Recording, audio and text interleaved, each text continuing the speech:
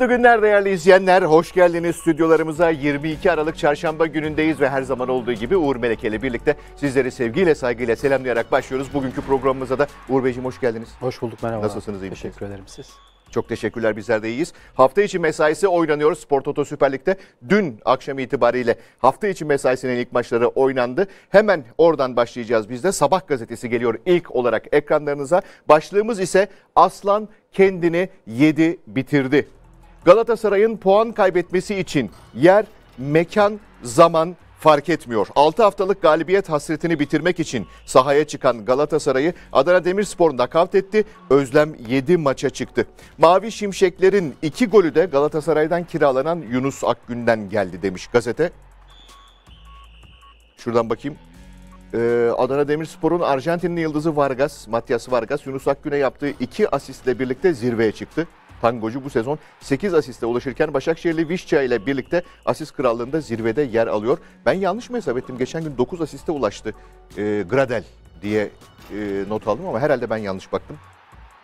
Sevgili Tolga o asist krallığını bir kontrol eder misin lütfen?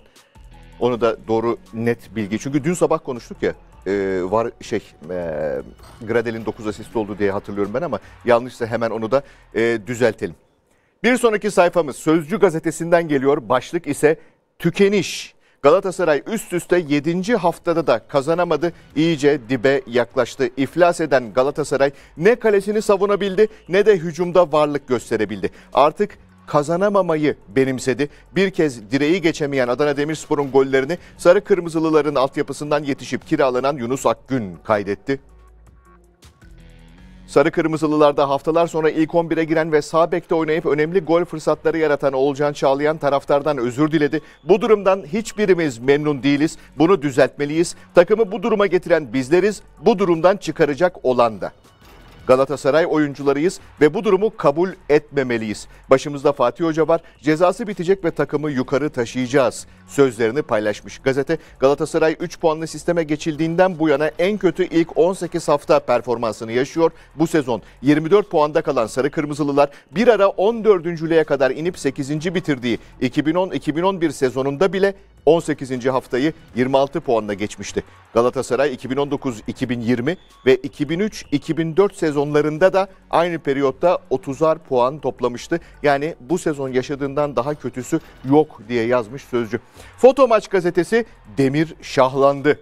Arjantinli maestro Vargas'ın asistleriyle Galatasaray'dan kiralanan Yunus Akgün iki şık golle eski takımını yıktı. Adana Demirspor Lig'de 3'te 3 ile maç fazlasıyla 4. sıraya çıktı.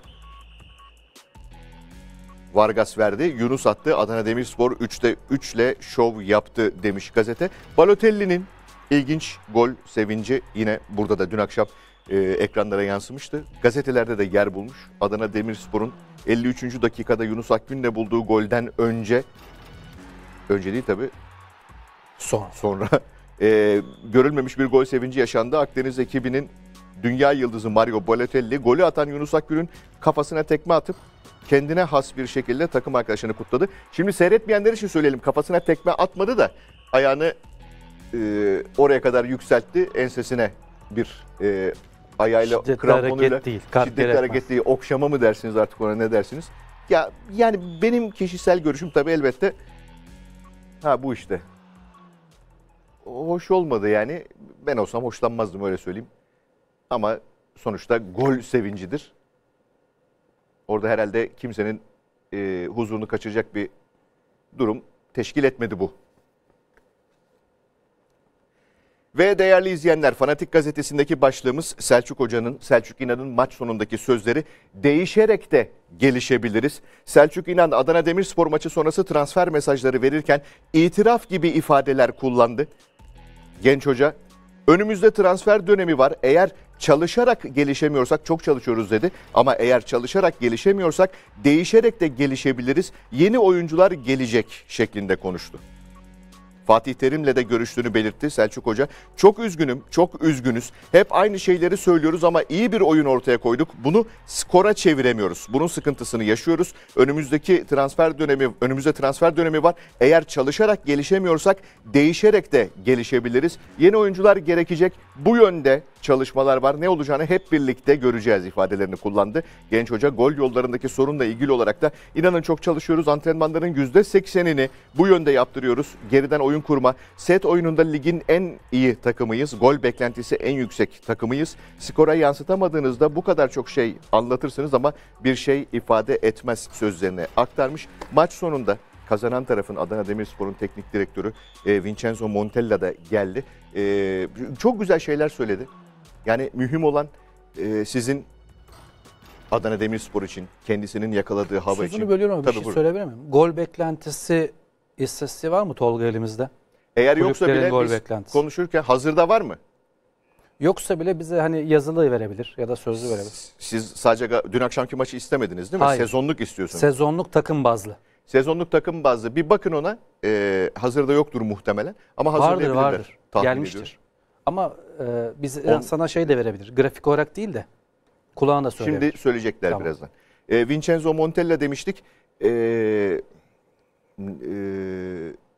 unuttum. Çok güzel açıklamalar yaptı. Ha, çok dilerim, güzel ben açıklamalar sözünü. yaptı. Aynen öyle. E, takım olmak için çok da fazla bir şey yapmaya gerek yok dedi. E, onu yapmışsın, bunu oynamışsın bir manası yok. Önemli olan aile ruh şey e, o birliktelik havasıdır dedi. Herke çünkü e, muhabir arkadaşımız aynen şöyle sordu. Oyunculara dokundu. Herkesi yukarıya çekiyor diye. Çok da fazla bir şey yapmıyorum dedi. Sadece öğreniyoruz, beraber öğreniyoruz, beraber me- mesafe kat ediyoruz. Bu bahsettiği şey. Beraber öğreniyoruz, be- beraber mesafe kat ediyoruz. Adalet duygusunu oluşturmuş.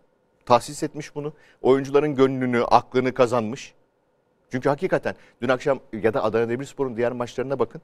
Hocanın söylediği gibi herkes pozitif mücadele ediyor. Oyunu biraz daha ileriye götürebilmek için mücadele ediyor. Vincenzo Montella yani öyle çok paralar harcamalara, çok büyük yapılar kurmanıza gerek yok. Adım adım bu şekilde ilerleyebilirsiniz dedi ki e, son derece güzel bir vizyon ortaya koyduğunu söylememiz lazım. E, Adana Demirspor'un hocası Vincenzo Montella'nın da açıklamalarıyla. Çok da cool durdu şeyde. Öyle zaten. Evet. Karizmatik bir sporcuydu. Karizmatik bir hoca. Gelelim karşılaşmaya. Adana Demirspor Galatasaray'ı 2-0 mağlup etti. Şöyle bakıyorum pozisyonlara. Ha bu arada dün e, Galatasaray'ın 11'iyle başlayalım isterseniz Fatih Hoca'nın, Selçuk Hoca'nın e, tercihleriyle. E, bekleri değiştirerek başladı. Ömer ilk 11'de başladı. Sağda Oğulcan ilk 11'de başladı. Sonra Ömer'i değiştirdi hoca yine. Evet. Patrick Van Aanholt'la maçın son bölümünde, Son 20'de değiştirdi. son 20'de. Nereden başlayalım? Bu değişiklik ekrana da geldi. Maça başlayan 11. Morutsan ne kadar etkiliydi tartışılır.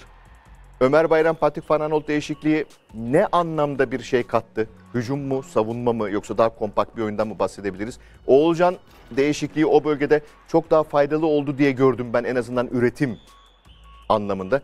Çikaldao dediğiniz gibi hastalıktan geçmiş olsun diyelim tabii geride bıraktı ama, ama hastalıktan hala tam olarak dönebilmiş görünmüyor. Yani bir de şu var. Orta saha o kadar geçirgendi ki Galatasaray'da dün akşam.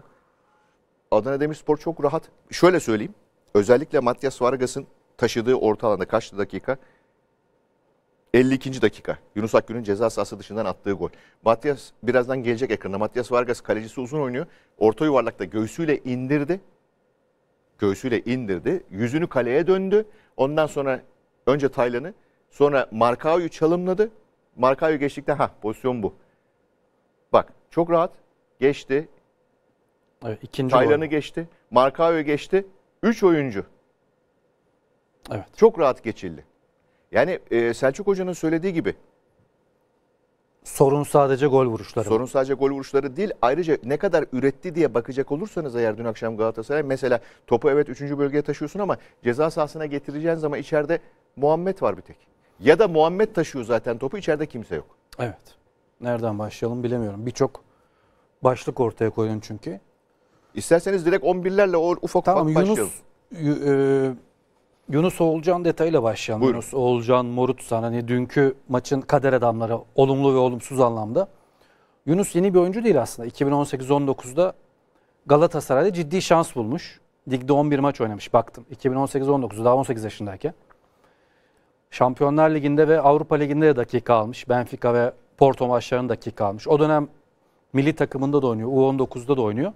Özellikle Fatih Hoca Türkiye Kupası'na çok şans vermiş o sezon. Türkiye Kupası'nda da 6 gol atmış. Hatta hat-trick yaptığı bir maç var. Hat-trick yaptığı maçtan sonra da Belçika transferi iddiaları çıkmıştı Yunus Akgün'ün. Belçika'ya transfer olmak istiyor iddiaları çıkmış. Daha 18 yaşındaydı.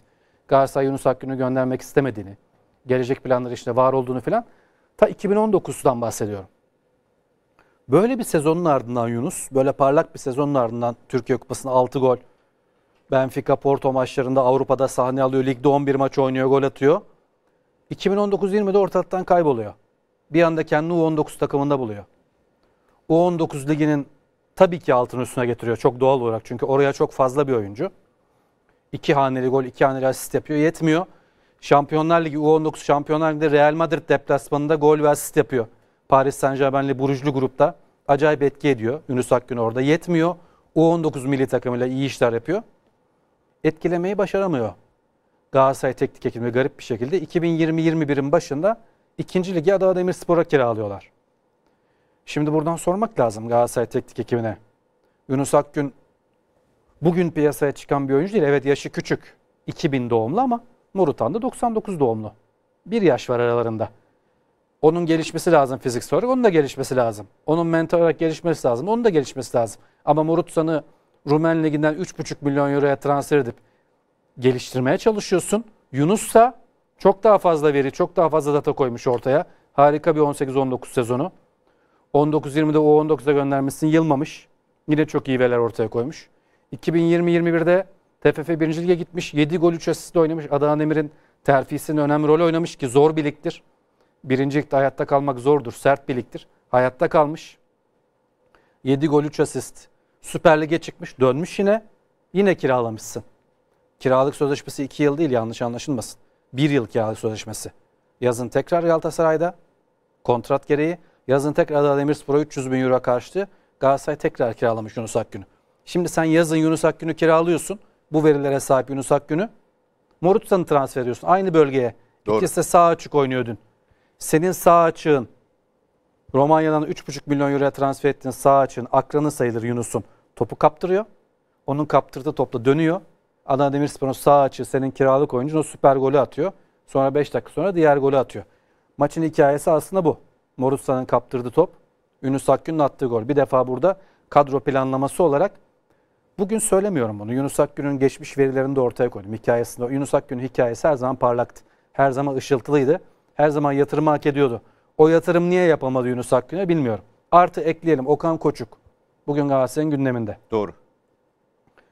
İsmail Çipe yine performansıyla yine parmak ısırttı değil mi? Yine harikaydı İsmail Çipe. Yine kurtarışlarıyla ama henüz hiç yapmadığı kurtarışlarıyla. Diğer tarafta Okan Koçuk bu sene Giresun'la parlamış bir oyuncu değil. Bakın bu önemli. Geçen sezon Muslera'nın yokluğunda 11 maç oynadı Doğru. Okan Koçuk. Az maç değil 11 maç. 11 maçın 5'inde gol yemedi. Toplam 11 gol yemiş 11 maçta. İstatistiği de fena değil. Bu 11 maçın 7'sini kazanmış Galatasaray ki iyi bir çok süper bir sezonda değildi. Okan'la 11 maçta 7 galibiyet almış. Okan bu maçların 5'inde gol yememiş. Gayet de güven vermiş. O Okan'ı sezon başında istedi. Mesela dün Selçuk Hoca Yunus için de diyor. Gitmek istedi. Ya gitmek isteyen herkesi gönderiyor musun? Sen Galatasaray'sın yani Yunus Akgün'ü tutmak istesen tutamaz mısın? Yunus Akgün'e desen ki sen benim planlarımın içinde varsın. Ben sana bugün bu sezon layıkıyla dakika vereceğim.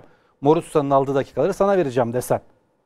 Yunus Akgün kalmaz mı? Veya Okan Koçuk'a desen ki sen benim gelecekteki Muslera sonrası planlarım senin üzerine. Türkiye Kupası'nda seni kullanacağım mesela. İşte ligde de e, mümkün olduğu kadar ekonomi el verdiği sürece şans vereceğim desen Okan Koçuk. Sen zaten kontratlı oyuncun yahu. Gitmek istemiyor canı isteyince gidemiyor yani. Okan Koçuk kiralık. Bugün ihtiyacın var. Kalende İsmail var. Yunus Akgün kiralık. Bugün ihtiyacın var. Sağ açıkta Morutsan oynuyor. Emre Akbaba kiralık. Mutsuz oldu gönderdim. Taraftar etkiledi gönderdim. Yükselt oyuncuyu. Değil mi? Mental danışman istihdam et. Niye bu oyuncu Galatasaray'da geriliyor da Alanya Spor'da yükseliyor? Alanya Spor'da her hafta en çok koşan oyuncular listesinde Süper Lig'de Emre Akbaba. Emre Akbaba'yı biz böyle mi tanıyorduk? Emre Akbaba Galatasaray'dayken en çok mesafe kat edenlerden biri miydi? Değil miydi? Ama varmış potansiyeli. Alanya'ya gidince o potansiyeli gösterdi. Var mı başka Emre Akbaba'nın takımda? Ofansif orta saha rolünde sürekli sıkıntı yaşıyorsun. Berkan Taylan Çikaldağ yapıyorsun orta sahaya. Berkan Taylan Topu kırıyorlar.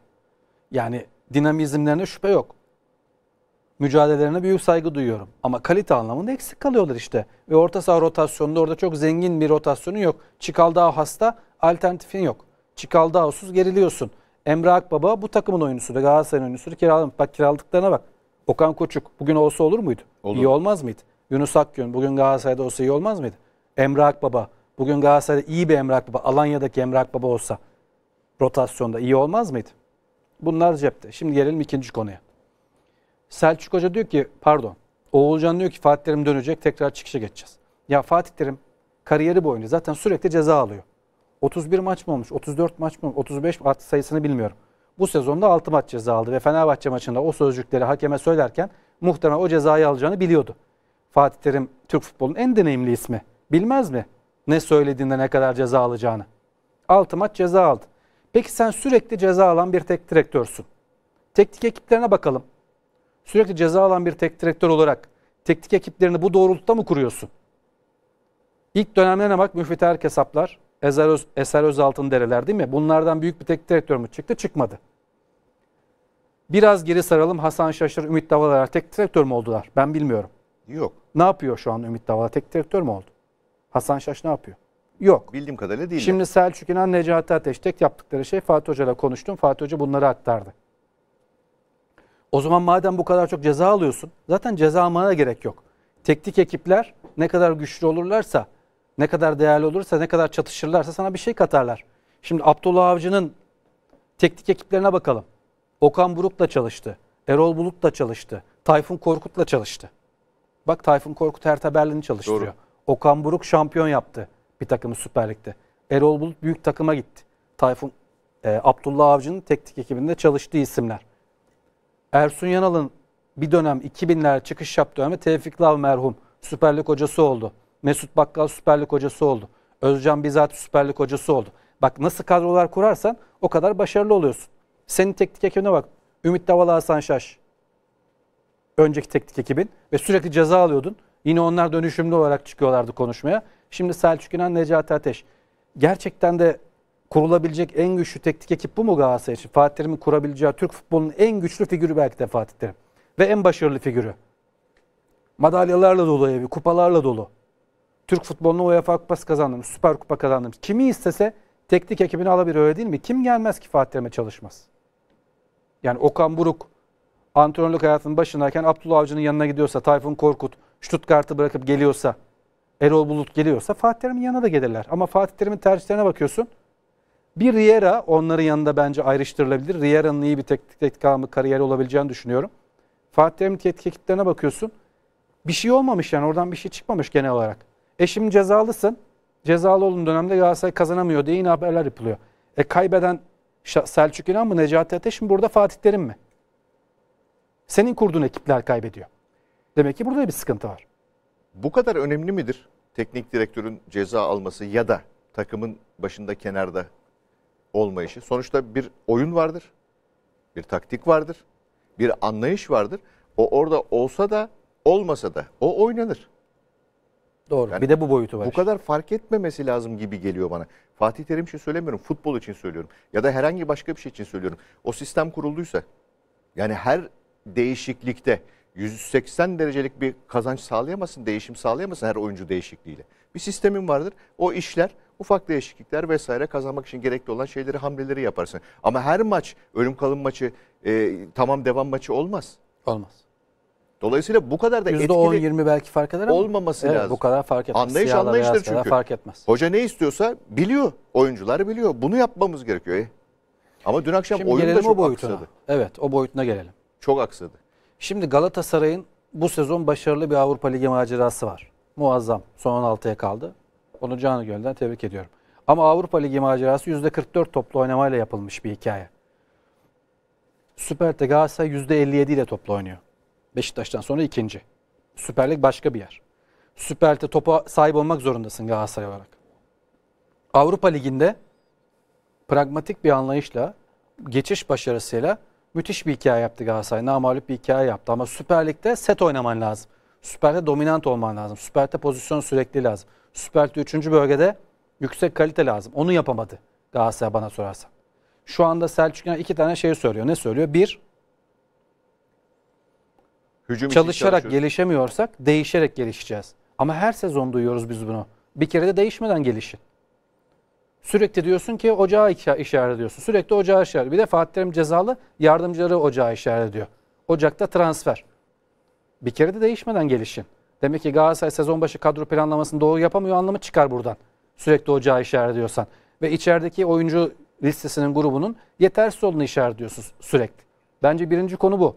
Yani çalışarak gelişemiyorsak değişerek gelişelim. Çalışarak gelişememek başkasının suçu mu pardon?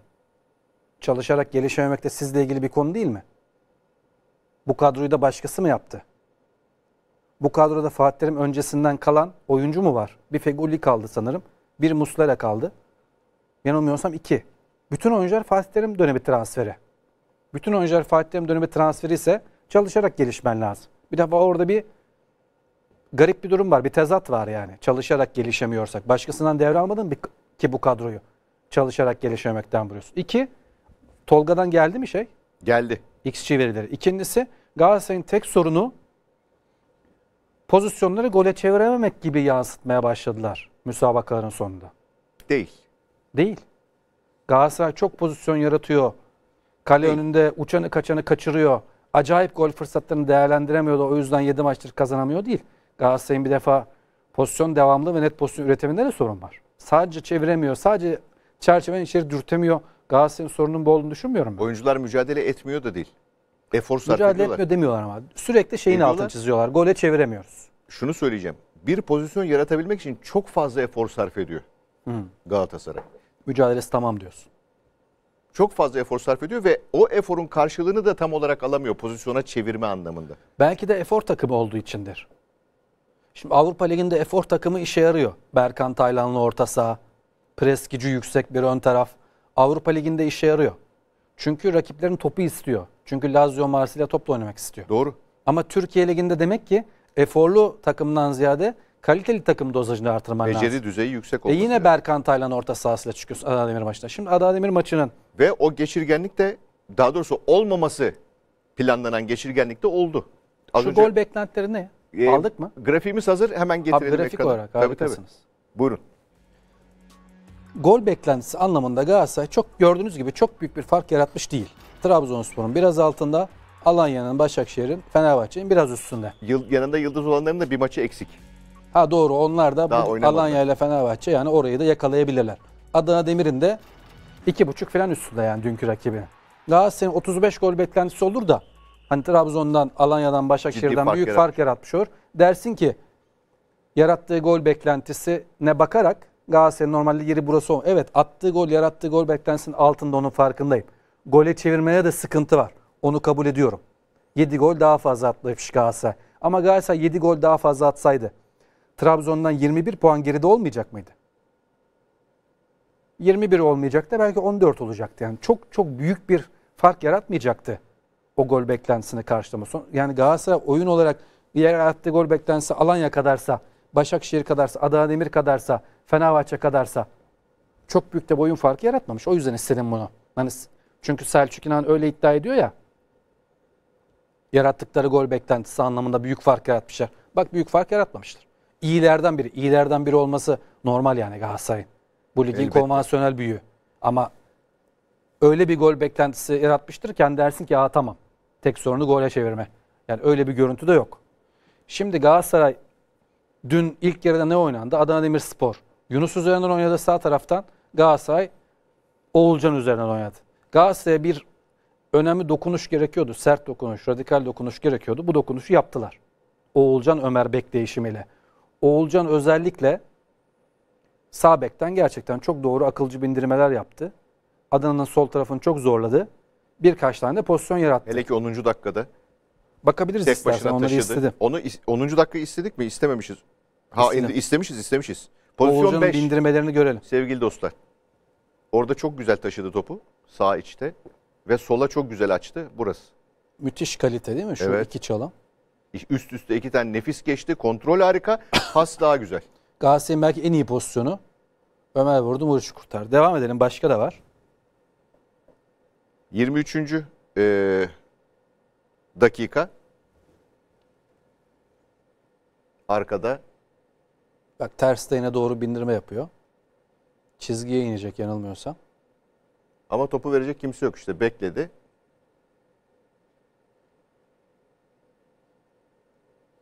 Şimdi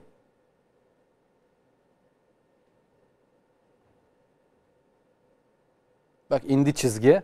Aslında top pozisyon hızlı. yaratacaktı. Top hızlı kaldı. Devam edelim bir de 26. dakika. Yine çok iyi bindirme.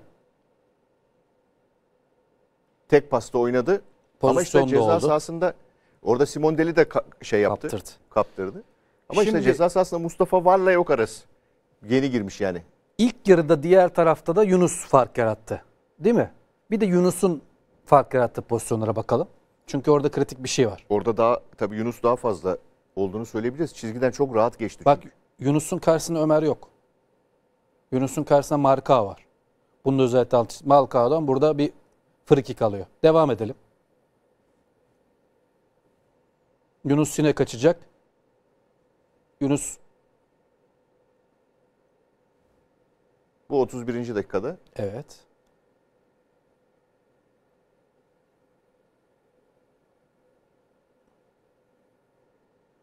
Tamam bu da pozisyona dönüştü. Bir tane daha vardı. 39 dakika 39.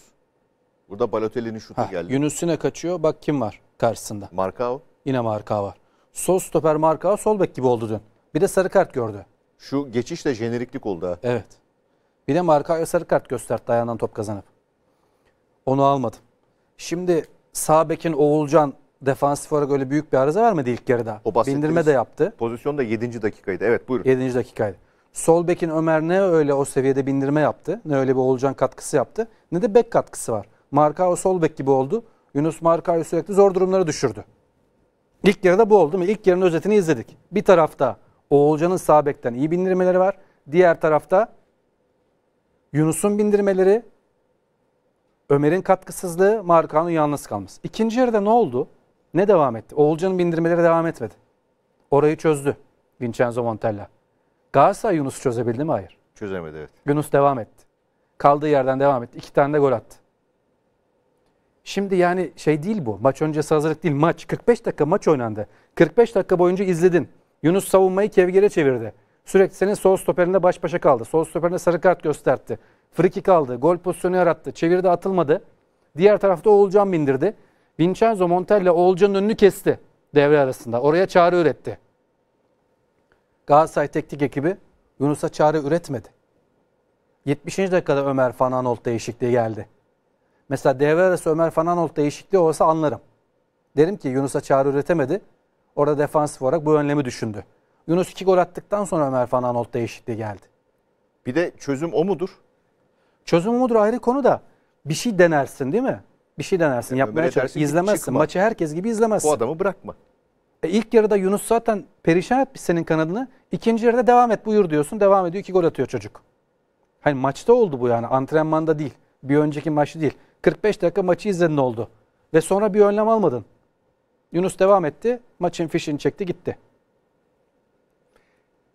Gollere de bakalım isterseniz. Ee, 16. dakikada Bjarnason'un golü var ama offside gerekçesiyle o gol geçerlik kazanmadı. Adana Demirspor'un sağdan ağırlıklı olarak Uğur Meleke'nin de söylediği gibi geliştirdiği. Tabii e, başına şey yapmamız lazım. Dostlar en baştan alma şansımız var mı? Orada top kaybından. Daha ha, sağda çünkü orada Morusan topu kaybetti. Sola oyunu sağdan gelirken sola çevirmeye çalıştı. Evet. Svensson'da kaldı top. Ve o da ileriye oynadı. Şimdi burada iki başka detay daha var. Morutsan'ın top kaybından e, azade olarak. Bir defa Morutsan çok basit top kayıpları yaptı yine. Yine daha fazlasını yapmaya çalışıyor. Yine çalımlarla kendine bir şut fırsatı yaratmaya çalışıyor. Top kaybediyor, sinirleniyor, öfkeleniyor filan. Galatasaray pozisyon veriyor. Buna devam ediyor Morutsan. Birinci detay. İkinci Şimdi- detay, Evet buyurun özür dilerim. bak bu kadar merkezden bu kadar uzun metrajlı bu top geliyor. Bu topu yiyen de Taylan Berkanlı Galatasaray. E onu dedim ya. Taylan, Taylan Berkan niye var? Varlık nedeni ne?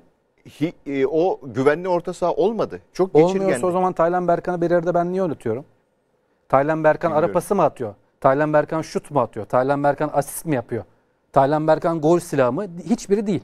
Taylan Berkan sadece iyi kesici diye oynuyorlar. Şu E ne pasa oldu? çözüm olmadı işte. E ne oldu? Yine merkezden delindin. O zaman Taylan Berkan niye var? İkinci detay. Üçüncü detay.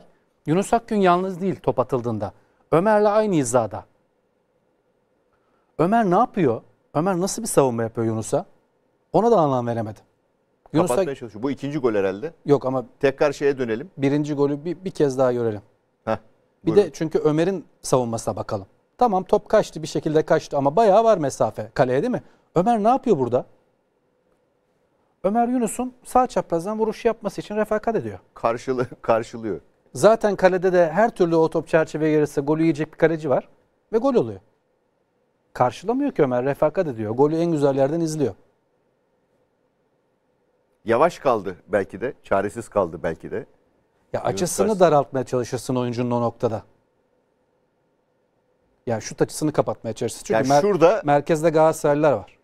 ikinci kere bir hızlanıyor orada Yunus topu aldıktan sonra dikkat ederseniz. Sanıyorum orada kaybetti kontrolü. Ya ilk yarıda Yunus bunu defalarca yapmış. Ömer yok Şurada bak. pozisyonlarda. Ömer pozisyonlara yetişememiş bile. Yetişemedi, evet. Sürekli Yunus'la marka eşleşmiş. Doğru. Yani devre arasında buraya bir önlem almaz mısın?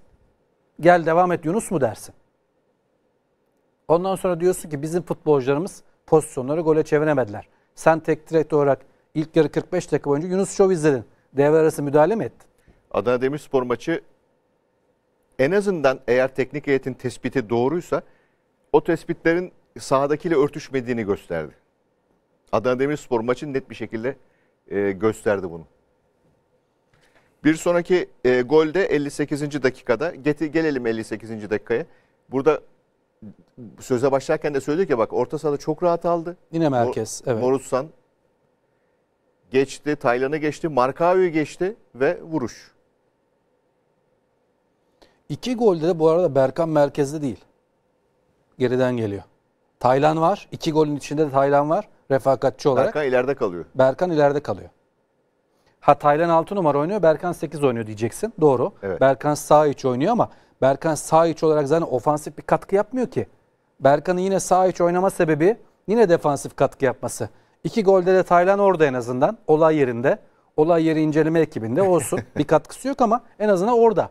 Berkan olay yerinde de değil iki golde de. Berkan'ı göremiyorsun. Karaya girmiyor. E bu övüyorlar, uçuyor, kaçıyor. 16 kilometre koşuyor filan Berkan. Peki hücumda üretim yok. Buna mukabil iki Orta saha geçirgen. kabaca iki ön liberoyla olduğunu söyleyebiliriz. Savunma da işe yaramadı. Ne yaptı o zaman Dün akşamı nasıl özetlemek, anlatmak gerekir?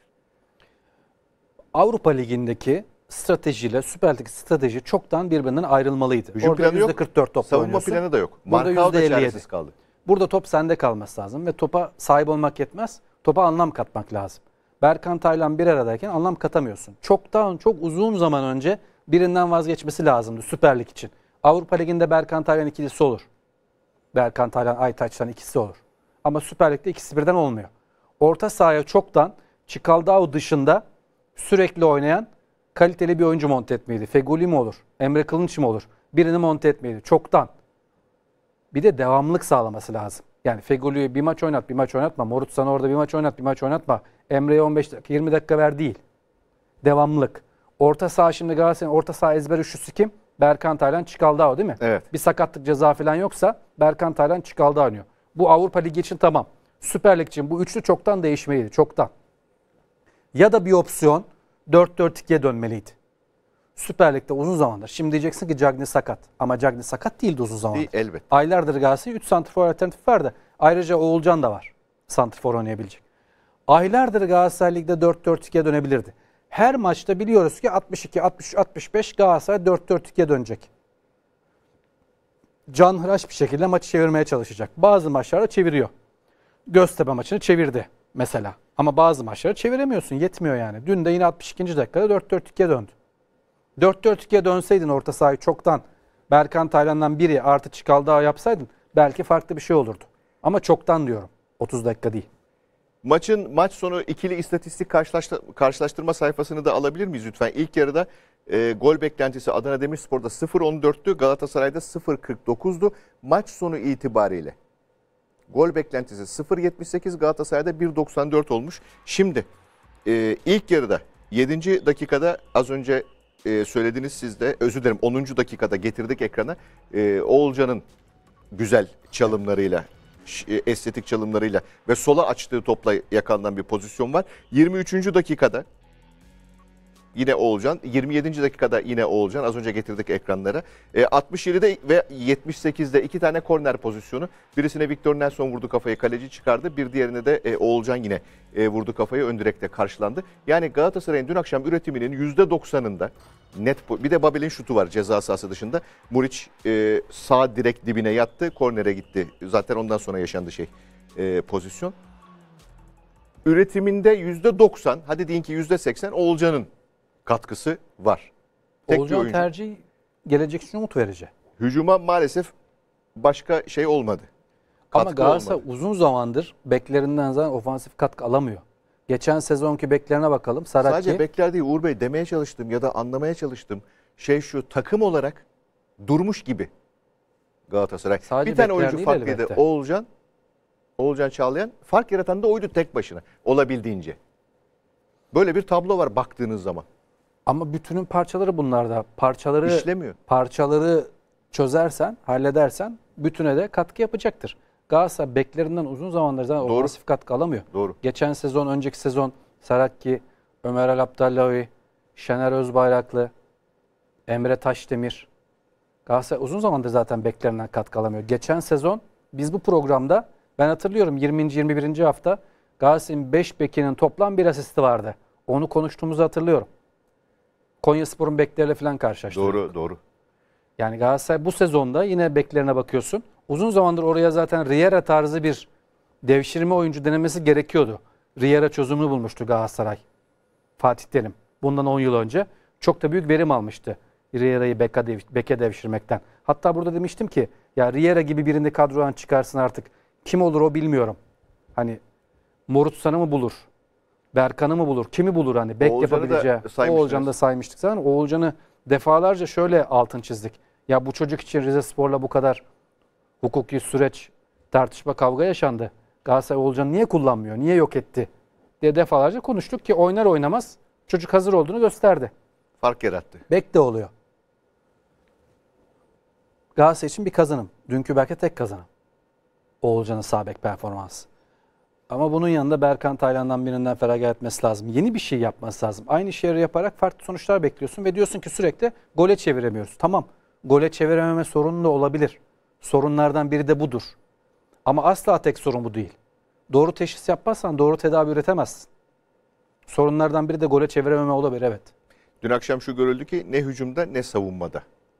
Çok büyük boşluklar bırakıldı. Hele ki ikinci golde orta sahada Vargas'ın topu alması, sırtı dönük dönmesi, taşıması vesaire. E, bunların hepsi bir şey olarak değerlendirilebilir, işaret olarak değerlendirilebilir.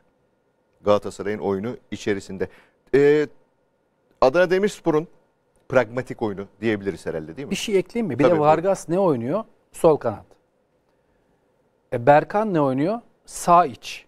Normalde Vargas'ın topu aldığı yerlerde Berkan'la eşleşmesi lazım. Taylan büyük itibariyle. oranda kapatmaya Taylan 6 numara. Tamam Taylan'ın orada olması normal. Ama Vargas sol kanat. Berkan sağ iç olduğu için orta üçlünü sağ iç. Çikaldao sol iç oynadı çünkü. Berkan sağ iç. Normalde eşleşmesi lazım. Vargas'la. İki pozisyonda, iki gol pozisyonunda da o bölgede Berkan yok. Adana Demirspor dedik hakikaten dün akşam iyi kurgulanmış. Elindeki oyuncu becerilerine doğru paralel iyi kurgulanmış bir oyunla sahadaydı ve Galatasaray'ı mat etme planı işledi. Başından sonuna kadar söylediğiniz gibi Galatasaray e, reaksiyon gösteremedi Vincenzo Montella'nın planına. İstediği gibi nakış gibi işledi hem orta sahada hem de kanat organizasyonlarında. Galatasaray merkezden zaten hücum edemiyor. Adana Demirspor merkezde kazandığı topları oyunu genişletmek suretiyle ya sola genişletiyor Vargas'a ya sağa genişletiyor Yunus'a.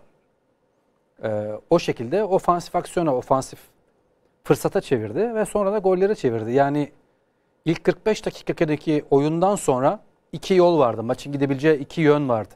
Ya Galatasaray Yunus'a çare bulacaktı. Adana Demirspor'un hücum kanallarını kesecekti. İkinci yarıda Galatasaray ön plana çıkacaktı. Ya da Adana Demirspor Oğulcan'a çare bulacaktı. Galatasaray'ın hücum kanalını kesecekti. Ne oldu? Montella Oğulcan'ın hücum kanalını kesti. Oğulcan'ın kanalı kesilince 65'e 70'e kadar yani skor 58'de 2-0 oldu. Galatasaray bir şey üretemedi. Üreten yine Yunus oldu.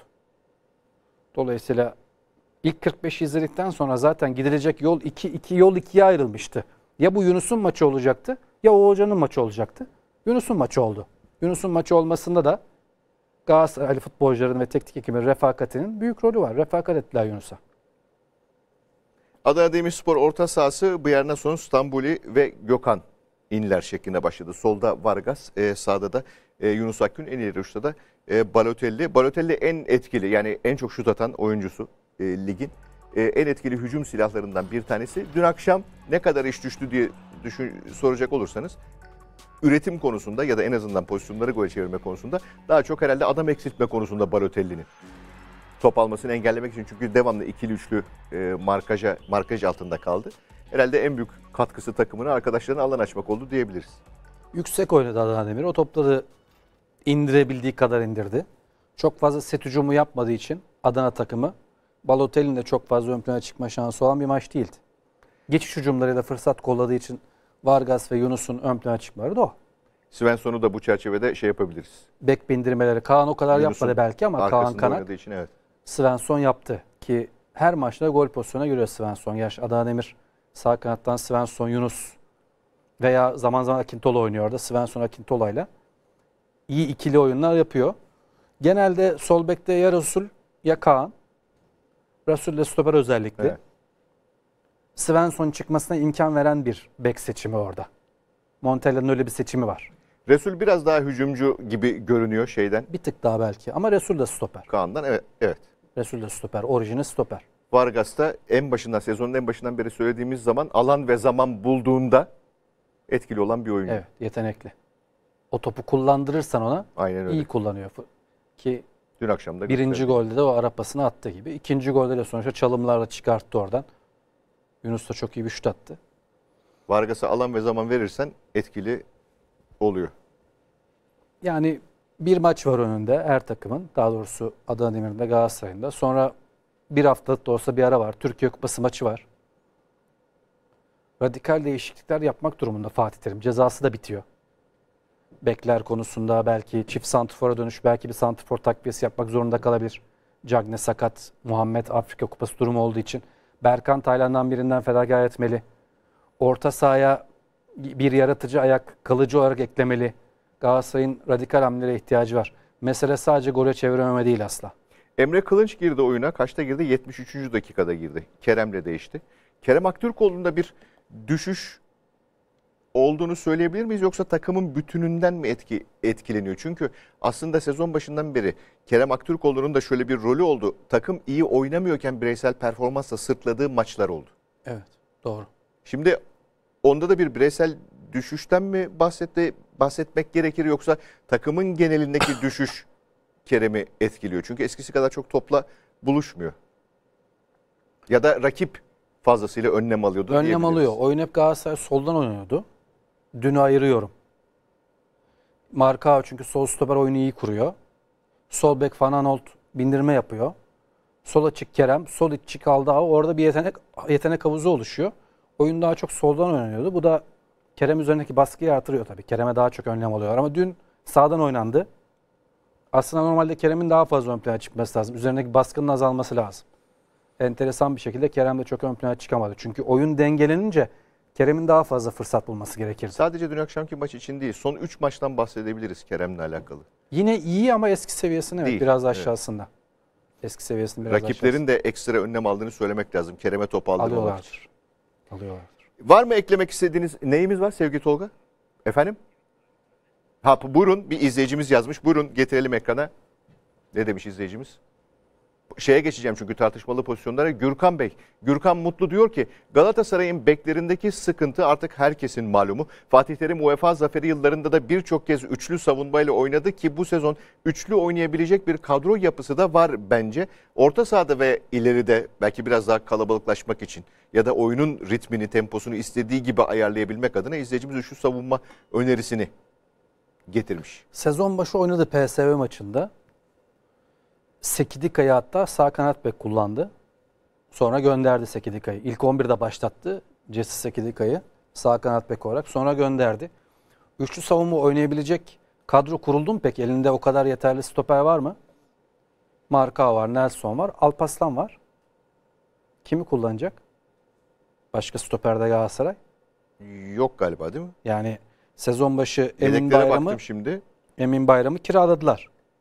Fatih Öztürk, Deandre Yedlin, Alparslan Öztürk, Fatih e, özür dilerim. Patrick Van Aanholt, Ryan Babel, Aytaç Kara, Emre Kılınç, Fegoli, Barış Alper Yılmaz ve Halil Dervişoğlu. Dün akşamki yedekler. Luyendama sakat. Bir de Luyendama var şu anda sakat. Yani ne Luyendama'yla ne Alparslan'la savunmayı üçlediğinde sana böyle hayal kurduran türden bir üçlü mü oluyor? Hani Luyendama'yı bu savunmanın merkezine koysan libero olarak Marka Nelson daha mı iyi çıkarlar? Çok hayal kurdurmuyor. Bana çok hayal kurdurmuyor. Ee, Yani Galatasaray'ın Bey çözümünün ne olduğu gibi gelmedi bana. bir çözüm olarak onu düşünmüş, onu e, iletmiş bize. Teşekkür edelim. Bir seçenektir. Fatih Terim de PSV maçı denemişti ama sonuç alamamıştı. İleride hamle yapmasını sağlayabilecek bir çözüm mü? Değil. Çünkü Gürkan Bey şunu konuştuk. Ne hücumda ne savunmada. Organize olamıyor. Kuş sürüsü gibi hareket edemiyor. Kopuk, boş ya da ne bileyim topu hızlandıramıyor. Evet son bitirme becerisi de en son maçta iki tane net pozisyonu vardı ceza sahası içerisinde Cagney'in. Bu şeyden önce e, Adana Demirspor maçından önce iki tane net. Onlar akılda kaldı Başakşehir maçı. belki biraz daha Başakşehir karşılaşmasında. Yani gole çeviremem anlamında ama dün akşam yaratılan pozisyonların hepsinde Olcan vardı. O da 5 tane herhalde iki tanesi duran top olmak üzere 6 tane diyebiliriz. Akan Evet. oyun içerisinde 4 taneden bahsedebiliriz. Yani en azından benim aldığım e, notlar içerisinde. Dolayısıyla sadece savunma meselesi, savunmanın üçlü dörtlü oynaması değil çok daha farklı bir elektroşoka ihtiyacı varmış gibi görünüyor. Yeni bir şeyler yapmaya ihtiyacı var. E, tartışmalı pozisyonlar var. Onları da getirelim hemen hızlıca ekranlarınıza. Önce hangisi? Kaçıncı? Pozisyon 1. E, Gökhan Ünler. Adana Demirspor'da. Burada bir elle müdahale var mı? Yok mu? Şurada. Burada hakem göğsüyle aldığını. Ya çok net bir elle oynama bu. Çünkü kolunu İşaret. açıyor, Arkasında kaldı çünkü. açıyor Evet. ve büyük bir avantaj sağlıyor yani Çikaldağ'a gidecek topu. Kendi önüne alıyor. Hakemin bir de pilottan hakemin yerini görelim. Ben hakemin de açısının rahat olduğunu ve gördüğünü hatırlıyorum. Başa Önünün sararsak hemen olduğunu. görünüyordu hakemin pozisyonu. Ha.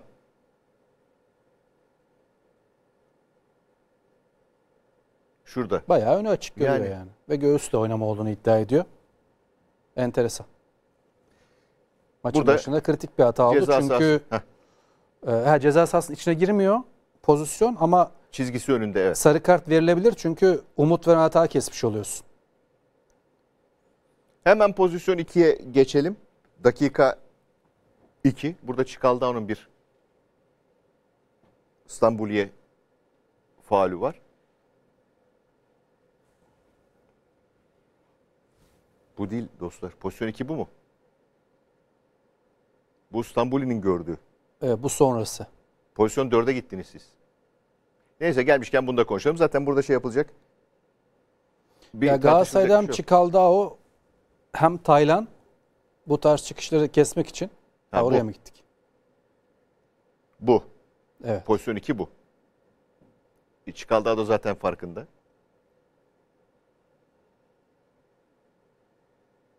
Ya kaleye bayağı mesafe var. 60-70 metre mesafe var. Daha maçın başı, daha ikinci dakika. Çikaldao'nun böyle bir faul yapması normalde pilottan görürsek yani öyle bir umut veren hata da hemen dönüşecek diye bir durum da yok. Kaleye bayağı mesafe var dikkat edersen. Sarı kart. Sarı kart doğru ama Çikaldao niçin bu faul yapıyor? Yani mental olarak daha sakin olma. İkinci dakikada bu sarı kartı görmen anlamsız. Sonra hem ceza duruma düştü Antalya maçında hem de maçın geri kalanında cebinde sarı kart olduğu için Evet. daha kontrol oynuyorsun. Daha dakika 2. Pozisyon 6'ya gidelim şimdi. Burada Bıyarnason'un golü. Offside kararı var. Topun savunma arkasına atıldığı anda şurada. Burada Taylan dokundu mu diye galiba incelediler. Bakıldı, bir atalım. Taylan do- koşuyor, dokunuyor mu?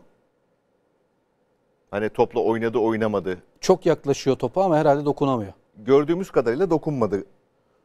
Çünkü dokunmuş olsa top aynı şekilde geçse bile oynama niyetiyle o hareketi yaptığı için bozar offside'ı. Geç kalıyor gördüğünüz Evet. gibi. Dokunabilmiş olsa offside'ı bozardı. Herhalde onu incelediler. Herhalde. Sonuçta offside kararı çıktı bu e, pozisyondan. Bir sonraki pozisyonumuz. Kaça gidiyoruz sevgili Reji? Pozisyon 12. Ha şey bu e, ilk yarının bitme şeyi. Evet. Burada bir e, korner kullanıldı. Galatasaray topu kaptı. Hızlı çıkış. Başlamak üzereydi ya da başladı. Yeni başladı diyebilirsiniz ama hakem bitirdi. Hocam dakika. burada şöyle bir talihsizlik oldu. Bir Beklenmişti dakika uzatmıştı. Evet. Korner zaten 45-55'te falan oldu. Korner Doğru. 45-55'te Doğru. oldu. Almanya'da, İngiltere'de falan bu tarz durumlarda çoğunlukla kornerin bile attırılmadığını görüyoruz. 45-55'te 45-56 o korner olduysa kornere giderken oyuncu bakıyor ki normal süre bitti. Bitiriyor. Bazen korneri attırmıyor. Attırayım dedi hakem. Attırdı. Ondan sonra da böyle bir bu sırada 46-30 falan oldu tabela. Doğru. O da kafasında dedi ki korneri attırayım. Attırdıktan sonra tehlike bittiği anda bitireyim dedi. Kafasında o vardı hakemin doğal olarak. Bitirdi. Bu sefer de Galatasaray dediler ki e madem korneri attırdın dönen pozisyona niye şey veriyorsun? İmkan vermiyorsun dediler. Benim kanaatim şimdi genelde kamuoyunun kanaatinin bu olmadığının farkındayım. Ama dünyadaki muadillerini gördüğün zaman o korneri attırmıyorlar. Peki diyelim ki attırdı. O zaman acaba atağın Bitirmez. bitmesini mi Yok bitirmesi doğru. beklemeliydi? Bitirmesi doğru. Diyelim ki korneri attırdı. Tamam. Normal süre bitmiş zaten. Temdit korneri attırıyor. Korner tehlike bittiği anda ne şekilde biterse hani cezalı dışta çıktığı anda top filan bitirecek zaten. O kafayla oynatıyor. Orada da onu yaptı ama talihsiz. Tabii ki Galatasaraylıların da itirazı doğal o anda. Evet. Bence korneri attırmamalıydı. Çünkü korner zaten bir dakikalık uzatma normal olarak doğal akışında hayatın bitti. Korner atılmadı. 45-55-56 top zaten dışarı çıktı. O korneri attırmayabilirdi bana sorarsan. E, özellikle ilk yarının sonu. Bu sefer de oynatsa mesela süre bitmiş durumda şu anda. Oyna artı birde ama şimdi şunu da düşünebilir miyiz? Minimum artı bir diyor ya. Doğru. Ama o bir dakika yaşa duraksama oldu mu? Olmadı galiba değil mi? Galiba olmadı. Ben de öyle hatırlıyorum. Bakalım Şimdi şurada. maç sonu olsa tamam mı? 90 artı 4 olsa şu anda o Yok. 4 dakika içinde duraksamalar olmuş olabilir. Korneri de attırırsın. Devamındaki atağı da oynatabilirsin. 4 dakikaya ben 1 dakika daha ekledim. İçindeki duraksama varsa bile diyebilirsin. Ama ilk yarının sonu zaten sadece 60 saniye uzatma vermişsin. 60 saniye içinde de oyunun doğal akışı yaşanmış. Hayat normal bir şekilde akmış. O zaman 60 saniye bitince dur bitir. Korneri attırma. O zaman bu tartışmalar olmazdı. Yani bence hakemlik eee, karar verme işi yani. Öyle. Oyunu yorumlama, hayat yorumlama işi. Öyle. Burada manasız bir risk almış oluyor. 13. pozisyona gidiyoruz. Dakika 48. Taylan'ın burada bir yerden sonra bir müdahalesi var mı yok mu? Ona bakacağız. Şu tam ceza sahası çizgisinin önünde. Şimdi bu açıdan görünüyor aslında. Yakın pozisyonları birkaç farklı açıdan var. Yok Bjarnosan topun üstüne atlayayım derken Taylan'a gitti çarptı bence. Topu soluna çekmeye çalışırken karıştı değil mi? Topun üzerine atladı. Gitti Taylan'a çarptı. Asla Taylan'ın bir faulü yok. Taylan'ın hamlesi yok. Hamlesi yok. Değil mi? Taylan paralel koşuyor yani. Taylan anlamadı bile ne olduğunu.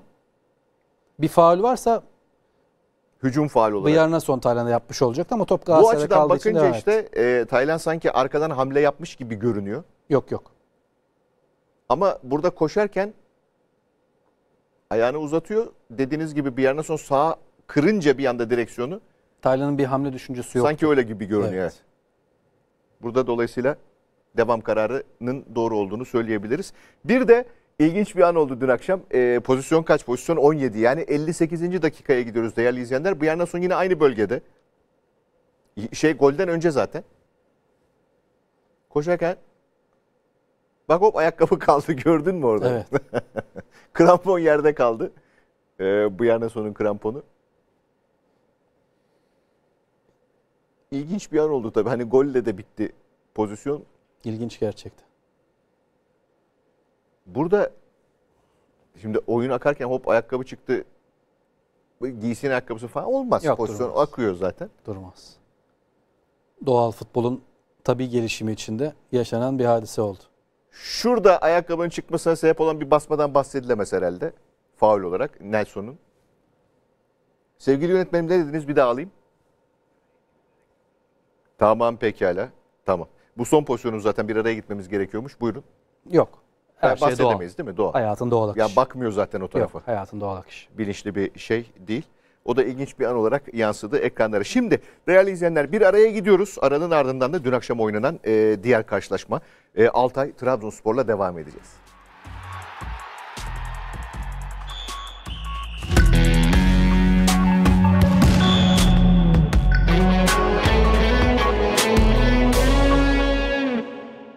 Değerli izleyenler Posta Gazetesi'nin başlığı Viking lideri uçurdu. Trabzonspor İzmir deplasmanında ilk yarısını geride kapattığı maçta müthiş bir geri dönüşe imza attı. Altay 33'te Cebrail ile öne geçerken ki çok seyretmeyen izleyicilerimiz için söyleyelim çok şık bir goldü. E, Bordo Mavili ekibin Danimarkalı yıldızı Cornelius 51 ve 88'de attığı gollerle zaferi getirdi. Herhalde bu gollerde şeyde almak lazım. Bakasetas'ı da ve Abdullah Avcı'nın yaptığı değişiklikleri de anmak lazım. Birazdan konuşacağız. Trabzonspor'a galibiyeti getiren isim olan Cornelius 3 puanın ardından zor bir deplasmanda kazanmasını bildik dedi. Cornelius ikinci yarıda maçı kendi lehimize çevirdik. Galibiyete katkı yaptığım için çok mutluyum ifadelerini kullandı. Trabzonspor'un tecrübeli kalecisi Uğurcan Çakır maçın ardından yediği golle ilgili bir esprili eleştiride bulundu. Uğurcan Çakır çok güzel bir gol yedim. Cebrail bence haftanın golüne imza attı demiş. Hakikaten birazdan gelecek ekranlarınıza izlemeyen izleyicilerimiz için hakikaten çok şık bir vuruş ve de gol oldu. Bir sonraki sayfamız Türkiye gazetesinden Kuzey'in kralı Cornelius başlığı atılmış. Trabzonspor deplasmanda Altay'ı zor da olsa devirdi ve yoluna kayıpsız olarak devam etti. İzmir ekibi Cebrail Karayel'in füzesiyle öne geçti. Abdullah Avcı'nın ikinci yarıdaki hamleleri galibiyeti getirdi. Oyuna giren Bakasetas ve Koyuta'nın asistlerinde Cornelius'un attığı iki golle 3 altın puanı takımına kazandırdı. Cornelius sezon başında eleştiri aldı ama yeni Sörlot demiş gazete ki birazdan istatistikle istatistiki veriyle de destekleyeceğiz bu başlığı. Trabzonspor Teknik Direktörü Abdullah Avcı maçın ardından çok zor bir deplasmanda iyi bir galibiyet aldık. Her hafta bir final oynuyoruz. Başakşehir'le de önemli bir maça çıkacağız. Cumartesi günü taraftarımızın taraftarımızı maça bekliyoruz ifadelerini kullandı. Hoca ara transferde bir sol bek bir de kanat oyuncusu alacağız. Vişça'yı takımımda görmek isterim sözlerini okuyucusuna aktarmış. Bu arada Edgariye Vitor Hugo'dan sonra Edgariye de sakatlandı. Trabzonspor'un stoperlerinden Vitor Hugo'dan sonra Edgariye de sakatlandı. Dünkü maçın 85. dakikasında dizinden sakatlanan futbolcunun sedyedeki görüntüsü futbol severleri tedirgin ederken Edgar'ın net durumu çekilecek MR'ın ardından belli olacak demiş. Hüseyin Türkmen de yer değiştirdi. Geçmiş olsun. İnşallah çok ciddi, ciddi bir e, durumu yoktur Edgariye'nin. Karşılaşma deyim yerindeyse Trabzonspor'un biraz tutuk ev sahibi Altay'ın da zımba gibi bir oyunla, diri bir oyunla, pozisyonu evrilen bir oyunla başladı.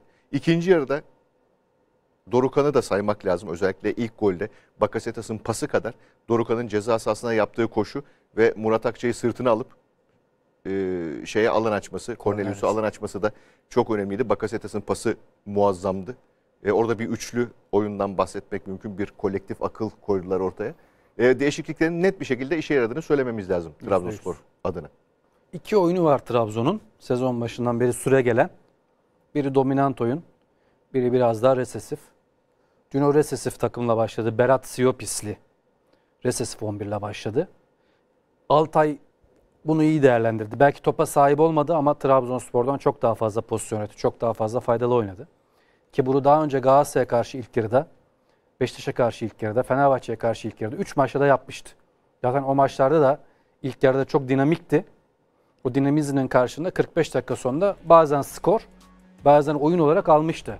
Herhalde Abdullah Hoca o yüzden Berat Siyopis tercihiyle başladı. Bu Altay'ın ilk yarıdaki geçişlerine önlem alabilmek için. Ama önlem alayım derken kendi oyunu kısırlaştı. Fazla önlem oldu evet. Fazla önlem oldu. Fazla bir kaygı futbol çıktı ortaya. İlk yarıyı Altay 6 isabetli şutla bitirirken Trabzon 1 isabetli şutla bitirdi.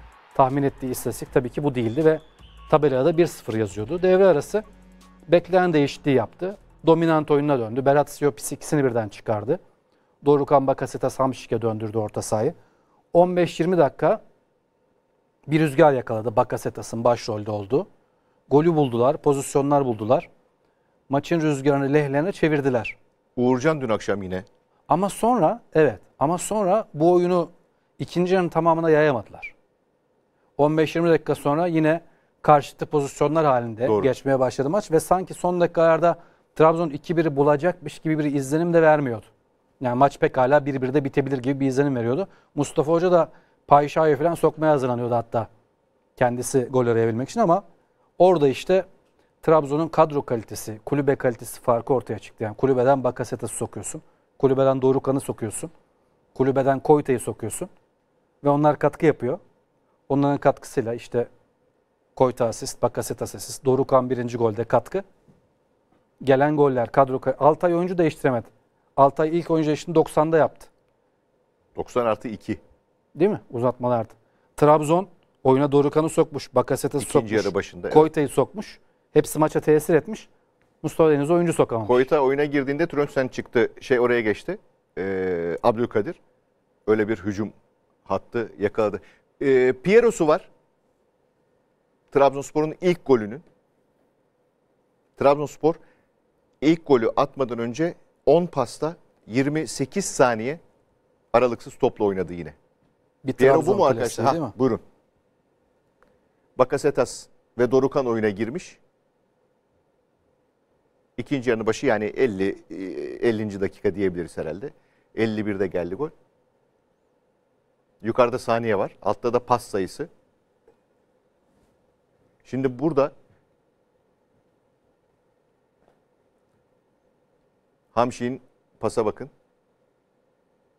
Bakasetas pasa bakın. Dorukan'ın koşusu. Akıl barındıran, Doğru. gerçekten akıl barındıran bir Akıl, organizasyon. kalite, değil mi? İyi futbol iyi futbolcuyla oynanıyor. O anda pas trafiğindeki oyunculara bak. Bakasetas var. Hamşik var. Canini var. Pası gerçekten inanılmaz. Cornelius var. Abdülkadir Ömür var. Hepsi bir arada sahada çünkü. Hepsi bir arada sahada oldukları için var. Sen sahada maksimum yetenekli oyuncu barındırdığın zaman onlardan da maksimum verim alıyorsun. Kaç oyuncu düştü Bakasetas'ın pasıyla? bir daha Biz baştan bile alabilir miyiz? izlerken. Gerçekten öyle. Seyirciler de 4 düştü. 5 oyuncu. Hani Murat'ı Murat Akçay'ı e, Dorukan aldı sırtına da. Ya 4 oyuncu net bir şekilde oyundan düştü. Az buz değil yani.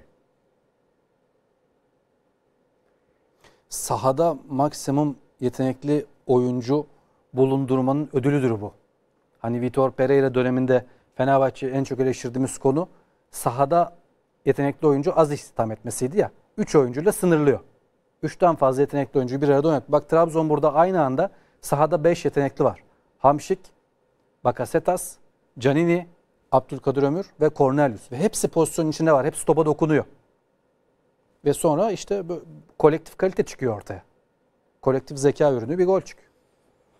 88. dakikada geldi Trabzonspor'un ikinci golü. Burada da tartışmalar oldu. Koyta'nın elle oynadığı oynamadığı onu birazdan zaten hadi gelmişken isterseniz onu da değerlendirelim. Burada direkt kendisi indirdi. Cornelius. Arkada direkt kaleci oynadı. Cornelius topu arkaya aşırdı. Canini sonra Canini sol tarafa. Koyuta'ya yani hücum yönüne baktığınız zaman sağ tarafa. Koyuta'da yine iki stoperin arasına koşu yapan Cornelius. orijini santrifor olan 3 oyuncu. Canini, Cornelius ve Koyta. Üçün orijini santrifor. O anda üçü bir arada sahada. 79'dan sonra üçü bir arada sahadalardı. O Uzatmalarla beraber 15 dakika. beceri katmakta işte böyle bir şey oluyor. Ya iyi futbol iyi futbolcuyla oynanıyor. Sahada ne kadar iyi futbolcu barındırırsan o kadar üretim yapıyorlar. O dakikada bu golün olduğu dakikada sahada Cornelius var. 1 Cornelius, 2 Canini, 3 Hamşik, 4 Abdülkadir, 5 Koyta, 6 Bakasetas. Bak 6 tane yetenekli oyuncu var sahada. Boşuna olmuyor bu üretimler. Doğru. Tesadüfi değil. 6 tane yetenekli oyuncuyu aynı anda sahada bulundurduğun için şu pozisyon için hepsi giriyorlar. Cani de var orada, Cornelius da var, Koyta da var. Ve kolektif, kalite kolektif zeka getiriyor bu golü. Dün akşam e, maç sonunda Süper Lig programında çok güzel bir ifade kullanıldı. Trabzonspor'un atanı ve tutanı. Dün akşam bu sezon çok iyi diye. E, Cornelius ve Uğurcan'ın rakamlarına bakacağız ama şeyin de Altay'ın da golünü hemen getirelim ekranlara. Rica edelim rejimizden. Cebrail'in golünü de konuşalım. Bak, ölçtü, biçti, baktı. Bu arada kimsenin de müdahale... Herhalde şutu orada riske ettiler değil mi? Kimse Evet, pozisyonunu bozmadı. geliyor. Trabzon savunması şut vursun gol olmaz diye düşündüler. Çünkü kimse müdahale etmedi. Beklenmedik. Tabii ki çok ekstra bir vuruş. Bir sol şut evet. Sağ bek geliyor. Yani çok tahmin etmediler ama yine de Trabzonspor'un ilk yarıdaki oyunun özeti gibi. Trabzonspor'un ilk yarıdaki tutucu oyunun özeti gibi. Yani Altay'a bu fırsatları verdiler. Altay Doğru. 6 tane isabetli şut attı ilk yarıda. E, ikinci yarıda bir tane de direkten dönen topu var. Bamba'ydı galiba yine uzaktan şut. Poko mu? Poko mu? Özür dilerim Poko'ydu. Üst direkten. Üst direkten Bu aynen. fırsatı verdiler. 6 kişi var. Cebrail'e bu şut fırsatı veriyorlar. Cebrail'e doğru şut. Gol Yani olur olmaz ayrı. dahil olmak üzere herkes baktı. Muhtemelen ya vursun mesafe uzak Ama yok. O, vesaire diye düşünüldü. Blokaj yapmaları gerekir. ve gol oldu. Güzel, çok Tercih şık. yanlış. Cebrail yılın yıldızlarından biri. Sezonun en etkili beklerinden Çok biri. Bu performansını bu güzel golle süsledi. Tebrik ederiz Cebrail. Dedik ya Trabzonspor'un atanı ve tutanı dün akşam e, Trabzonspor puanını 45 yaptı. En yakın takipçisi İttifak Holding Konyaspor'un bir maç eksiği var. 33 puanda Konyaspor. Bugün e, o da takipçisi Atakaş Hatayspor'la karşılaşacak. Kritik bir maç, güzel bir maç olmaya namzet bir karşılaşma. En yakın takipçisinin önünde 12 puan farklı birinci e, sırada Trabzonspor. Dün akşamki bu galibiyette bu yolda gerçekten çok kritik bir eğer bir şampiyonluktan bahsedilecekse daha ilk yarının sonundayız. Belki bundan bahsetmek için çok erken ama e, çok önemli bir kilometre taşıydı. Bence de. Dün Puan akşamki maç. kaybedebileceği bir yer. Evet. Ki ilk yarıdaki oyunuyla da 45 dakikada kazandı yani değil mi? o puanı. İşte Abdullah o Hatta tam anlamda fark 45 yarattı. bile diyemeyiz. Neredeyse belki 30 dakika ya da 25 dakika ikinci yarının da. Çünkü kalesinde pozisyon da verdi. Tabii. Uğurcan çıktı işte. Net e, 5-6 pozisyondan bahsedebiliriz. Uğurcan'ın Değil mi? 7 çıkardı. kurtarış yapmış. O da rekor. tabii 7 doğru. rekoru bravo. egale etmiş. Yani ben 5-6 diye saydım. Uğurcan'ın atlamış. 7 kurtarışına karşılık Emanuel Lis'in 3 kurtarışı var. O da maçın hikayesini biraz ifade ediyor. Altay Kalesi'ni 3 kurtarışa zorlamışsın. Senin kalecinin 7 kurtarışı var. Peki Cornelius az önce gazeteden okuduk değerli izleyenler diyor ki gazete haberinde e, sezon başında eleştirildi ancak şu anda yeni Sörlot. Bakalım rakamlar ne söylüyor Cornelius'la alakalı olarak. Gole çevirme yüzdeleri.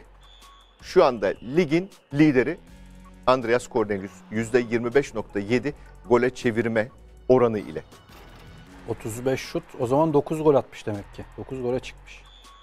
%25.7 gole çevirme oranı varsa müthiş. Doğru doğru hesabınız doğru. E, Dedyu, Umut Bozok, Peşiç, e, Bakasetas yine Trabzonspor'dan. Bir de Vakayeme var. İlk ona 3 Trabzon'a girmiş. Evet. Bu sezon Trabzonspor'un Ki Vakayeme santrafor olarak Bakasetas'ı da gerçi direkt santrafor şey e, golcü diye doğrudan santrafor diye sayamayız. Doğru. Bu sezon Trabzonspor'un az takdir ettiğimiz ama aslında sık sık hatırlamamız gereken başarılarından biri de transfer başarısı. Şimdi yaptığı 9 transferi hatırlayalım. Hamşik 10 üzerinden 10'luk bir performans gösteriyor bu sezon. Cornelius 10 üzerinden 10. Doğru. Bruno Perez görevini yapıyor. Dansville dün stoper oynadı. Gerektiğinde sol bek oynuyor. Görevini yapıyor. Dorukan çok iyi noktada katıldı takıma.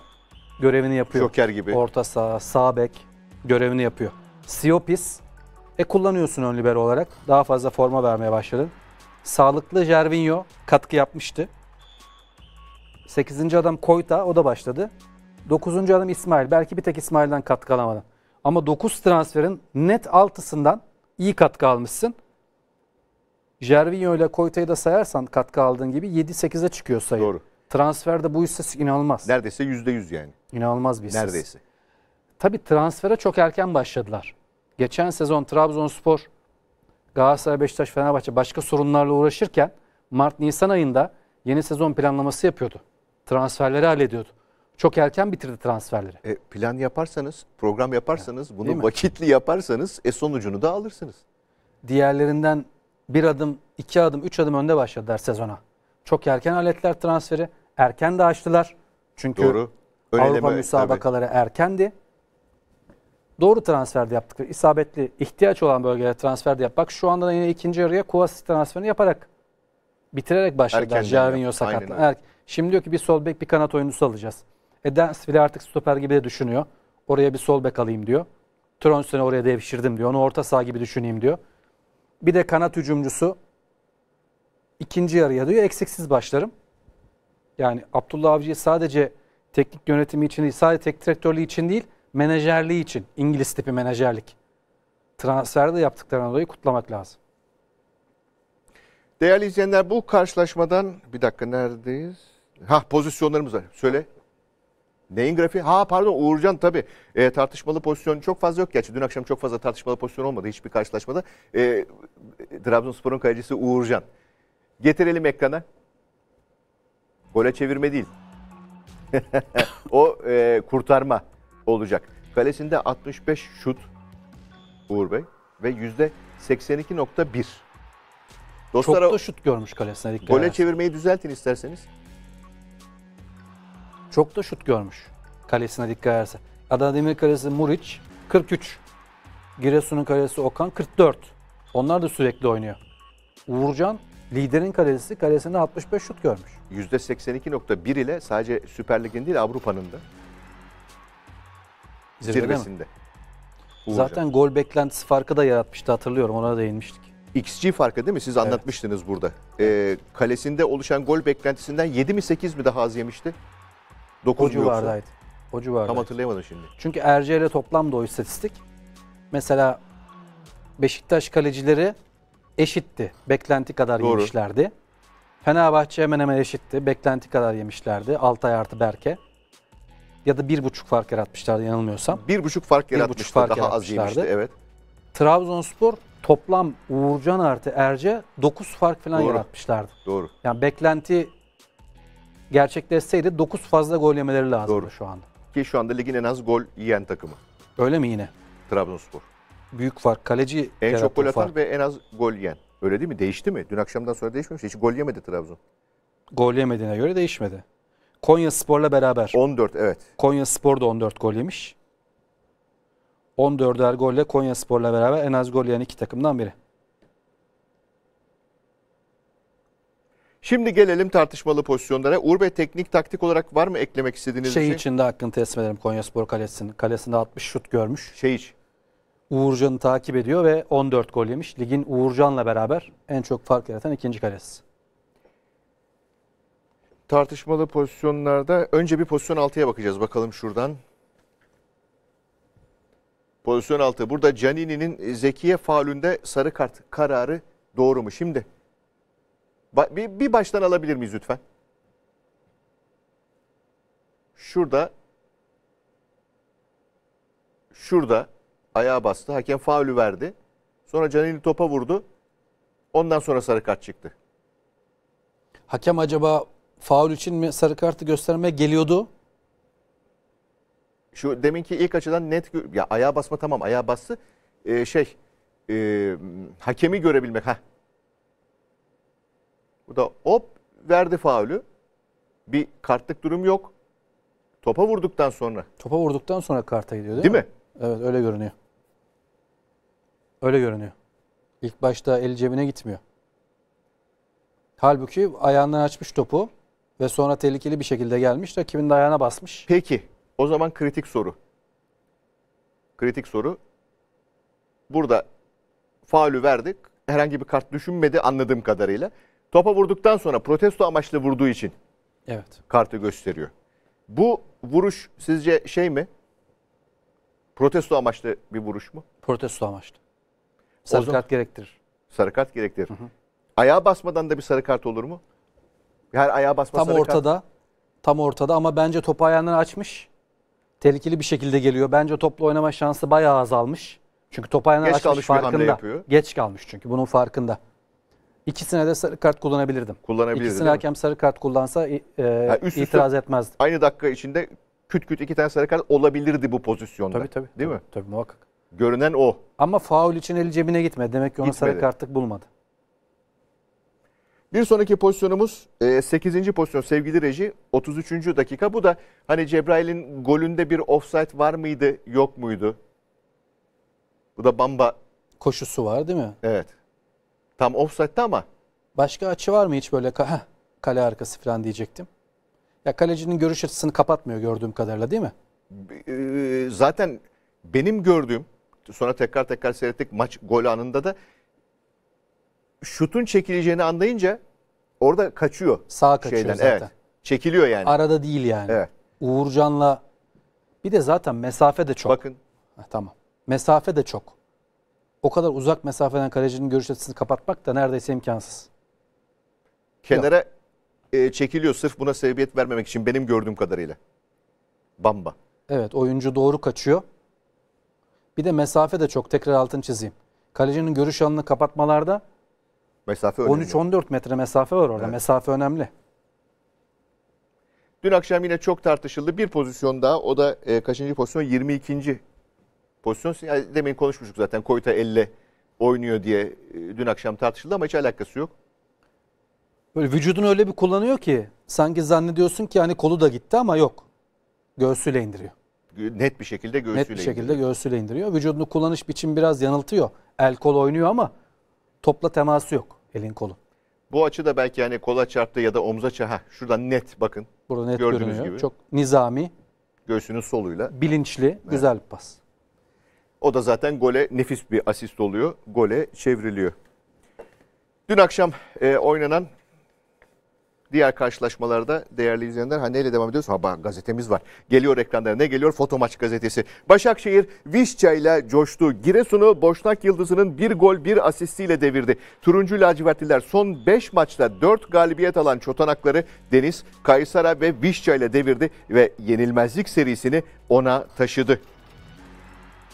İkinci yarıda karşılaşma adeta kaleci Okan'la Başakşehir arasında geçti. Vişça ve Berkay'ın gollük vuruşlarına geçit vermeyen ve mücadeleyi 5 kurtarışla tamamlayan Okan, 69'da ise Vişça'nın asistinde Kayseri'nin golüne engel olamadı. Şu cümle hakikaten ikinci yarıda karşılaşma adeta kaleci Okan'la Başakşehir arasında geçti Ee, cümlesi dün akşamın e, flaşlarından birisi olmuş. Giresun'u 3-1 yenerek çıkışını sürdüren Başakşehir'de bu başarının mimarı Emre Belözoğlu tarih yazdı. Turuncu lacivertlilerle 10. maçına çıkan ve yenilgi yüzü görmeyen 41 yaşındaki genç teknik adam 8. galibiyetine uzandı. Emre Belözoğlu Türk futbol efsanelerinden Coşkun Özarı'nın 21 maçlık rekorunu kırarak lig tarihinde 15 galibiyete en hızlı ulaşan yerli teknik direktör oldu.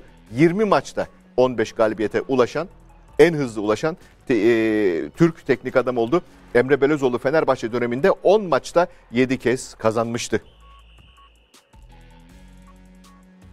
Başakşehir'in yardımcı hocası Erdinç Sözer ikinci yarıda gerçek futbollarını sahaya yansıttıklarını söyledi.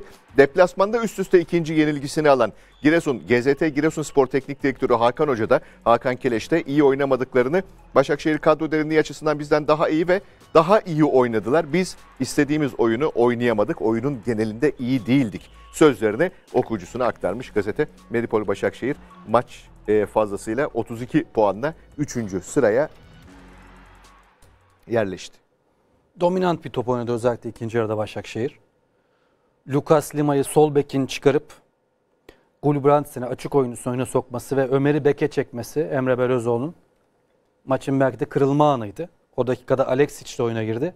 Ön taraftaki yetenekli oyuncu sayısını aynen Abdullah Avcı'nın yaptığı gibi Altay maçında artırdı. Aynen orada da durum 1-1'di. Burada da durum 1-1'di. Abdullah Avcı da benzer bir şekilde hatırla Trondsen çıkarttı. Abdülkadir'i beke çekti. Yetenekli oyuncu sayısını artırdı. Maçı 2-1'e getirdi. Emre Hoca da sol beki Lucas Lima'yı çıkarttı. Ömer'i geriye çekti. Ön tarafa Alexic ve Gulbrandsen'i de takviye etti. Başakşehir ön taraf daha kalabalık, daha kaliteli. Zaten Alexic'in süper bir asisti var. Ee, Vişça'nın golünde. Diğer golde de Vişça asist. Kaysara gol. Başakşehir hak ederek istatistiklerde de Giresunspor'u ezerek ligin ikinci yarısına heyecan katacağını hissettiriyor. Bir de sonraki maçı Trabzonspor'la. Ligin ikinci yarısı sanki Trabzonspor'u zorlayabilecek en güçlü seri, en güçlü kadro, en iyi Oturmuş momentum anlayış, Başakşehir'de. evet. Trabzonspor'u zorlayabilecek şu anda en ciddi aday Başakşehir gibi görünüyor. Bugün yine maçlar oynanmaya devam edecek. Hafta içi mesaisinde saat 17'de Demir Grup Sivas Spor'un rakibi Çaykur Rizespor. Aynı saatte Atakaş Hatayspor İttifak Holding Konya Spor maçı oynanacak ve akşam saat 20'de Gaziantep Aytemiz Alanya Spor'la Vavakars Fatih Karagümrük'te Fenerbahçe ile karşı karşıya gelecek. Fanatik gazetesinin başlığı eski dostlar rakip oluyor. Karagümrük'ün patronu Volkan Demirel 17 yıl kalesini koruyup efsane olduğu, 2 yıl antrenörlük yaptığı Fenerbahçe'ye ilk kez rakip oluyor. Sarı lacivertliler ise bu maça hocasız ve sıkıntılı şekilde çıkıyor. Şöyle devam etmiş gazete. Fenerbahçe bu karşılaşmaya sıkıntılı çıkıyor. Beşiktaş beraberliğinin ardından haftalardır konuşulan senaryo gerçekleşti ve Vitor Pereira'nın görevine son verildi. Kulüpte bir numaralı gündem maddesi yeni teknik direktörü belirlemek. Diğer yandan üst sıralara tutunma- tutunmaya çalışan Sarı lacivertliler için bu maçın kazanılması son derece önemli. Hemen Milliyet gazetesini getirelim ekranlarınıza bu e, cümlenin ardından. Fenerbahçe'de normale dönüş Sarı lacivertliler Vitor Pereira döneminin sona ermesinin ardından Fatih Karagümrük maçıyla beraber hem dörtlü defansa geri dönecek hem de Mesut Özil dışında kulübede kalan yetenekli ayaklarda 11'deki yerini alacak. Peki nasıl bir 11 beklemiş Milliyet gazetesi? Kalede Berke, Nazım, Kim, Salay ve Novak, Crespo, Sosa, İrfan Can, Mesut, Mert Hakan, Valencia. Aklınıza gelebilecek en kalabalık yetenek grubunu e, Milliyet gazetesi tahmin etmiş. Bir de şöyle bir şey soracağım size bilmiyorum e, sizin dikkatinizi ne kadar çekiyor. E, Fenerbahçe'nin yollarını ayırdığı Vitor Pereira'nın adım adım Flamengo'ya yaklaştığı iddia edildi. Vitor Pereira gittikten sonra nereye gittiği, niye bu kadar çok yer alıyor acaba? Ben sadece merakımdan soruyorum. Öncesinde de yazılıyordu Flamengo için Evet. yazılıyordu Vitor Pereira. Fenerbahçe'deyken de yazılıyordu. Demek ki gündemlerinde vardı. Peki. Yani E, maçla alakalı yazılıyor. son bir buçuk dakikamız buyurun. Karagümrük. Mert'i, İrfan'ı, Mesut'u, Sosa'yı, Valencia'yı bir arada görünce insanın aklı e, Emre Belözoğlu dönemine götürüyor ister istemez. Hatta Pelkas'ı da ekliyordu o beşliye. Bu altıyı bir arada oynatarak geçen sezonun son haftasını geçirmişti. Şampiyonluk şansını son ana kadar kovaladı. Evet, 10 maç 23 puanı böyle yapmıştı. Fenerbahçe'nin elinde çok ciddi bir yetenek havuzu var. Bugün de beklenti Zeki Murat Göle, Tahir Karapınar ikilisinden beklenti. Aynı yetenek havuzunu Karagümrük maçında sahaya yansıtmak çok doğal. Eşyanın tabiatı bu. E, başarılar dileyelim her iki takıma da. E, daha önce de söylemiştik. Beraber mesai yaptığımız, e, burada tanıştığım, benim beraber çalışma fırsatı buldum. Tanışma ve tanıma fırsatı buldum. Volkan Demirel e, bu akşam ikinci de maçına başladı. çıkacak teknik direktör olarak. Vavakars Fatih Göztepe'yi Karagümrük üstün maçına. oynayarak yendi. Doğru. %54 toplu oynayarak şutlarda 17-12 üstünlük kurarak yendi. Volkan Demirel de iyi başladı serüvenine. Bugün sahaya çıkacak tüm takımlara başarılar dileyelim değerli izleyenler. Yarın e, yine bugün oynanacak karşılaşmaların analiziyle, e, yansıyan tüm haberleriyle karşınızda olacağız ama bugünlük bu kadar Uğur Meyke. Çok teşekkürler. Tekrar birlikte olana kadar hoşça kalın, mutlu kalın ve de sağlıkla kalın efendim.